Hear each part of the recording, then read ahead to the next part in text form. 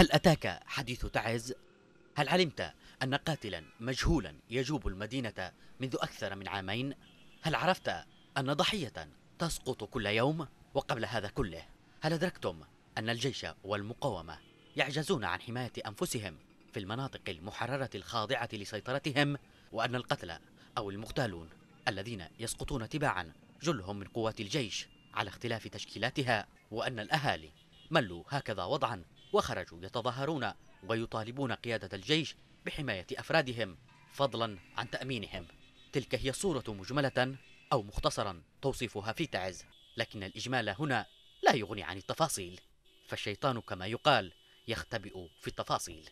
ومما يردد أو يشاهد ويلاحظ أن الجيش منقسم على نفسه وأن كل فصيل يقاتل على حدة وإن كان الهدف الجامع هو الحرب ضد الميليشيا وتحرير المدينة.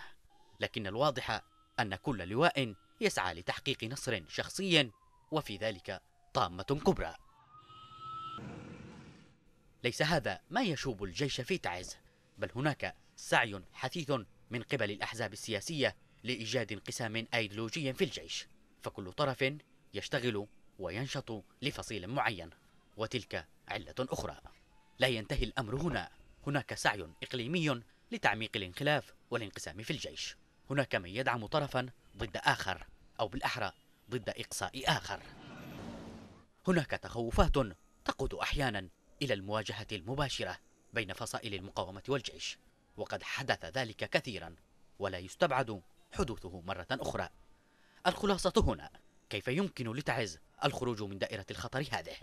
وهل سيسعفها حسها المدني وتراكمها المعرفي في تخطي الانقسام والمواجهة؟ أم إن الحرب كعادتها تذهب صوت العقل وتعلي من صوت البندقية.